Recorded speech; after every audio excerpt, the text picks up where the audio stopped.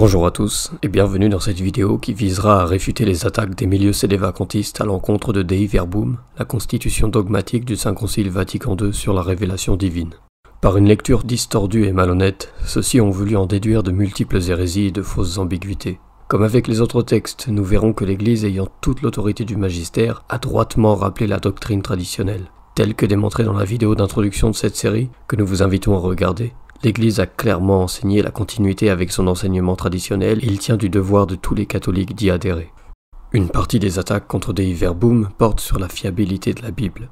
Il s'agit de lui faire dire qu'elle ne conçoit la Bible que comme un objet défectueux, imparfait, recueillant des vérités parsemées au milieu de fausseté. Certains auteurs vont même jusqu'à dire qu'elle relativise l'historicité des évangiles.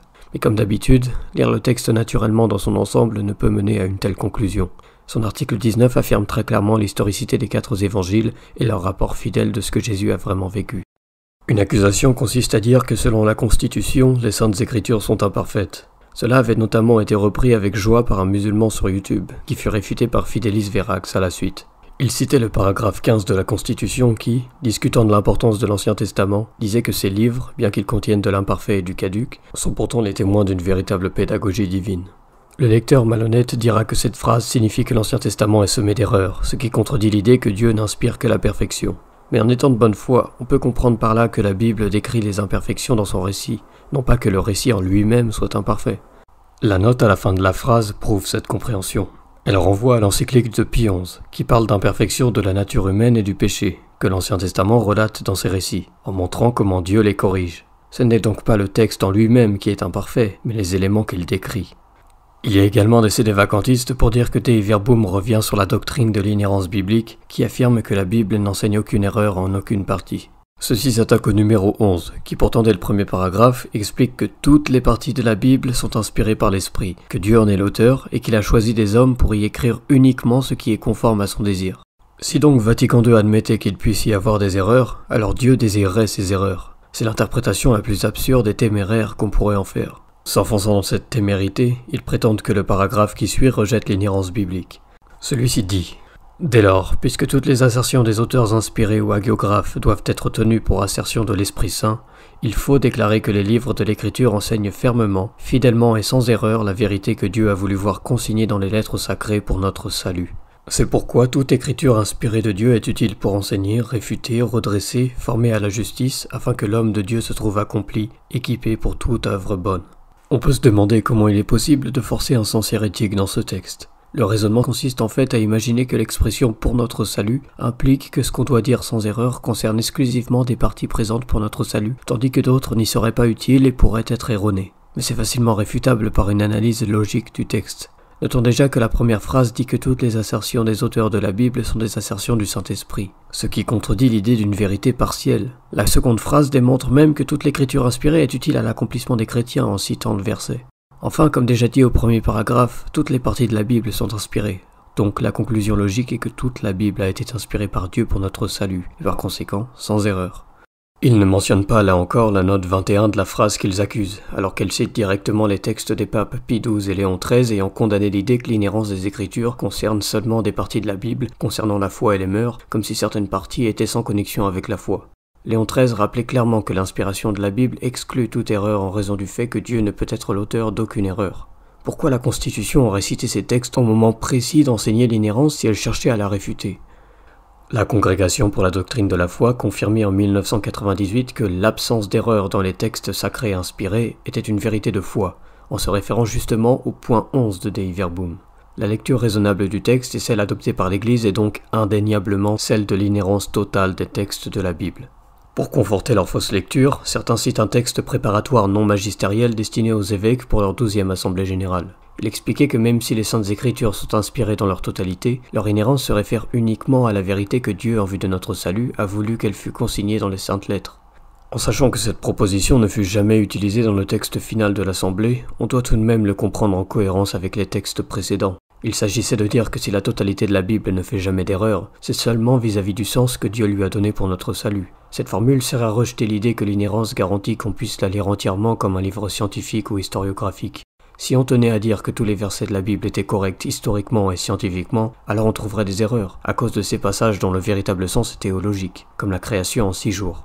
L'inhérence signifie donc qu'ils ne peuvent jamais être des erreurs, mais seulement en vertu du sens qu'ils ont pour le salut, pas dans n'importe quel sens, car l'inhérence ne signifie pas que tous les versets sont corrects scientifiquement ou autre.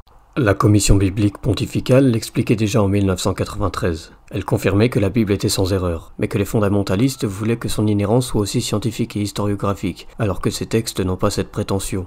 Dire que l'inhérence concerne absolument n'importe quel sens de lecture revient à dire que tous les versets de la Bible doivent être corrects scientifiquement. C'est donc la définition de l'inhérence que l'Église corrigeait ici. La même commission biblique pontificale rappelait en 2014 que l'inhérence ne peut pas être comprise dans un sens absolu, car les textes bibliques ne s'expriment pas de façon scientifique ou historiographique, mais parfois par des expressions relatives aux connaissances et cultures de ses rédacteurs. Cependant, elle enterra la question du Dei Verbum en réfutant que l'inhérence biblique ne couvre que certaines parties de la Bible. Elle affirmait explicitement que quand Dei Verbum parlait de vérité pour notre salut, cela ne devait pas être interprété dans le sens de l'écriture sainte qui concernerait seulement les parties du livre sacré nécessaires à la foi et à la morale, à l'exclusion des autres, répétant ainsi la position de Pie XII et de Léon XIII. Elle poursuivait. L'expression la vérité que Dieu a voulu voir consignée dans les lettres sacrées pour notre salut signifie plutôt que les livres de l'Écriture, avec toutes leurs parties, dans la mesure où ils sont inspirés du Saint-Esprit et ont Dieu pour auteur, cherchent à communiquer la vérité en tant qu'elle est en relation avec notre salut, qui est en réalité le but dans lequel Dieu se révèle. Elle ajoutait enfin que c'est pour ça que la note 21 citait des textes disant que ce qui n'est pas utile au salut ne fait pas partie de la Bible. La conclusion est donc que la Bible dit la vérité dans toutes ses parties, et que toutes ces parties ont été révélées en vue de notre salut. Elles sont donc toujours correctes dans le sens théologique qui leur correspond. Dei Verbum porte aussi sur la relation et distinction entre les saintes écritures et la sainte tradition. Ces numéros 9 et 10 la décrivent très bien, se référant à Pie XII, le Concile de Trente et Vatican I, rappelant que la Bible ne se suffit pas à elle-même pour la connaissance de la révélation chrétienne. Mais certains sédévacantistes croient que Vatican II enseigne que la doctrine peut changer avec le temps quand il déclare que cette tradition qui vient des apôtres progresse dans l'Église sous l'assistance du Saint-Esprit. En effet, les perceptions des réalités aussi bien que des paroles transmises s'accroissent, soit par la contemplation et l'étude des croyants qui les méditent dans leur cœur, soit par l'intelligence intérieure qu'ils éprouvent des réalités spirituelles, soit par la prédication de ceux qui, avec la succession épiscopale, ont reçu un charisme certain de vérité. Le contexte montre que cela s'ancre dans l'enseignement de la même perpétuelle tradition.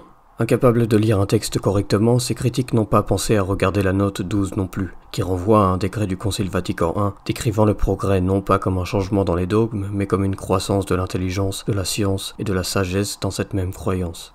En 1973, répétant de nouveau les décrets de Vatican I et rejetant les opinions erronées, l'Église ratifiait encore que les formules dogmatiques ne pouvaient pas avoir un sens nouveau, celui-ci étant déterminé et irréformable.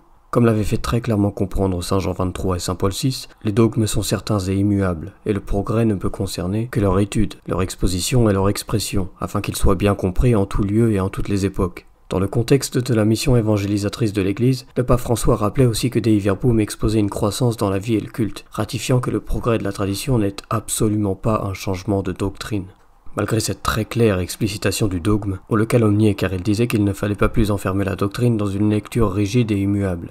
Sauf qu'il avait tout à fait raison, car si la doctrine ne peut pas changer, ce qu'il venait tout juste de confirmer, la lecture de cette doctrine devait pouvoir se faire entendre par tous et nécessiter des expressions nouvelles face à des situations pastorales différentes. En déduire qu'il faille compromettre la foi est une conjecture malhonnête et clairement contraire à sa pensée. Les plus ignorants diront qu'une telle adaptation n'a jamais existé et qu'on ne peut jamais exprimer la doctrine d'une nouvelle façon. En fait, le pape François donnait généreusement la source d'une telle pensée dans la tradition en citant le Commonitorium de Saint Vincent de Lérins, écrit au 5e siècle, que le Concile Vatican I et Saint X avaient aussi repris pour distinguer le changement doctrinal du développement de la tradition. Saint Vincent valorisait le progrès dans la doctrine et expliquait que l'Église ne la changeait pas, mais la consolidait, la polissait, la précisait avec plus de soin. Ainsi, ce que l'Église catholique a toujours fait par les décrets de ses conciles, disait-il, c'était de résumer la doctrine pour en éclaircir l'intelligence, la caractérisant par des termes nouveaux et appropriés, bien qu'elle ne soit pas nouvelle en elle-même. Saint Thomas d'Aquin expliquait qu'en son temps, les paroles des anciens pères pouvaient paraître douteuses, car leur discours était adapté à une époque où certaines hérésies ne s'étaient pas répandues. De même, il disait que certains termes étaient plus adaptés pour les Grecs que pour les Latins. De cette façon, la doctrine, sans changer de nature, se développe, comme le disait Pie IX. Il ajoutait que certaines de ces vérités, selon les circonstances et les nécessités, devaient être plus mises en évidence ou défendues, et qu'en ce sens l'Église tirait de nouvelles choses de son trésor. La définition de la Trinité et de l'Immaculée Conception, de l'infaillibilité papale, en sont de très bons exemples. Loin d'innover, elles expliquaient plus clairement la doctrine originelle par des terminologies nouvelles. Dans une obstination désespérée à chercher des hérésies, on accuse Dei Verbum de dire au même numéro que la vérité n'est jamais atteinte, quand il explique que l'Église, tandis que les siècles s'écoulent, tend constamment vers la plénitude de la divine vérité, jusqu'à ce que soient accomplies en elle les paroles de Dieu. Comme on l'a vu, il ne s'agit ici que du progrès dans l'explication de la doctrine, non pas d'une introduction de nouveautés. Il est vrai que la compréhension de la doctrine se développe. Pie disait qu'elle était un trésor inépuisable, raison pour laquelle leur étude théologique trouvait toujours une nouvelle jeunesse. De façon similaire au Dei Verbum, il disait même que l'Esprit l'a dirigé pour parfaire la connaissance des vérités révélées. Non pas que ces vérités sont nouvelles, mais qu'elles étaient jusque-là implicites. C'est ainsi qu'il fallait comprendre l'expression de la parole de Dieu comme d'une source de renouvellement constant, selon Benoît XVI. Il rejetait évidemment un changement doctrinal, chose facilement vérifiable, mais reconnaissait l'imprégnation de l'Évangile à des situations nouvelles, rajeunissant sans cesse, comme le disait aussi saint Irénée. On peut conclure que la constitution dogmatique des Verbum est un autre exemple d'orthodoxie et de droiture du Saint Concile Vatican II. Mais comme pour ses autres décrets, on a cherché à lui donner un sens que l'Église elle-même n'a pas reconnu pour en tirer des hérésies, que ce soit pour servir un catholicisme libéral ou un schisme. Nous avons vu que ce sens n'était ni juste ni cohérent. S'il est toujours possible de tirer au forceps des lectures erronées dépassant les limites du raisonnable, il n'y a aucune justification pour les promouvoir ou blâmer le texte pour leur existence. Cette vidéo est à présent terminée.